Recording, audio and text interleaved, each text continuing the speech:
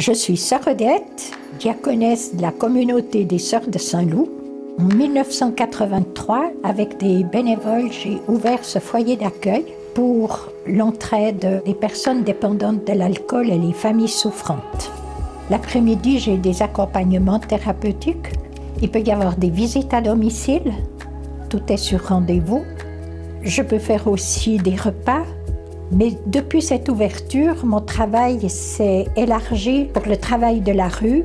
On m'a sollicité pour euh, être présente dans des fêtes de nuit telles que le carnaval à Fleurier, la présence lors des nuits de la fête des vendanges. Le Val de Travers est une région magnifique c'est une population qui est généreuse, qui aime la vie. Je n'ai pas eu de peine à m'habituer à la population, au caractère des gens, du fait que je viens de la vallée de Joux. J'ai fait que de suivre le Jura.